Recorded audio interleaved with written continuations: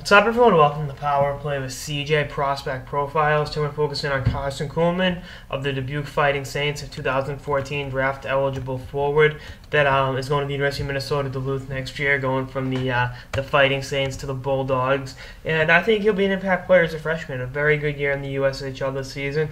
Uh, he had 44 points in 60 in 56 games. Excuse me, was a plus 16. Didn't have a ton of penalty minutes, and you know really played a well all-around game. Mean, Dubuque's one of the finer talent, finer talent-producing teams in the USHL. I mean, they, you know they, they, get a lot of good players. I mean, you know you look at just this season uh, in the NHL. I mean, Johnny Gaudreau and uh, Zemgus Girgensons both played in the NHL this year.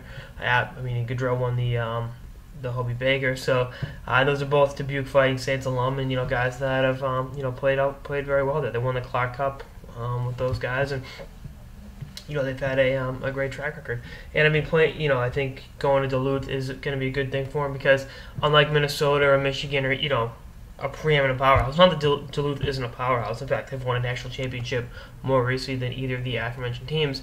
Um, I think he's going to get more ice time right away, and um, you know he'll be he'll he'll do well. Uh, he's a good playmaker. He sees the ice very well. He's got a good shot, and um, you know he's got a little bit of speed to him. And I, I think he'll be a good college hockey player. I mean, I think he'll start the year out in the bottom six, and I think by you know Christmas, New Year's, whenever he'll be um, you know, up in that top six, killing penalties, seeing power play time. And I think he's going to be a depth penalty killer. I like his, um, I like the way he backtracks. I like the way he sees the ice. I like the way he thinks the game.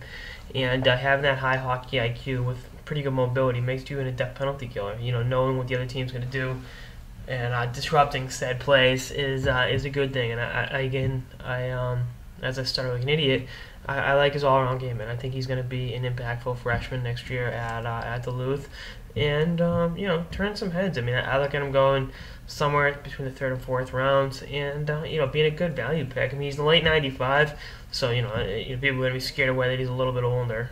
Older meaning you know three four months. But um, you know, I think he's gonna be um, you know a very good all-around player. He's gonna take some time to develop as most kids do, and uh, in a few years be a legitimate uh, pro prospect. I mean, he he's played in the USHL coming into the season. Played a little bit with the US uh, U18 team last year, so he's he's seen a few different situations. He's been playing at a high level for a long time, and uh, I think he's going to continue to um, to play at that level and develop and be a um, you know all around impact player. I like his game. You know, I like fact, he plays a full 200 foot game uh, for a kid that age. Just, you know, showing that he's ahead of the curve and means you can use him in a few different situations that you might not use these one dimensional players when they come into a college as a freshman. But uh, anyway, that's like an episode of the Power Play with CJ Prospect Profiles on Karson Kuhlman of the Dubuque Fighting Saints. Stay tuned for episodes through the playoffs and beyond. Later, guys.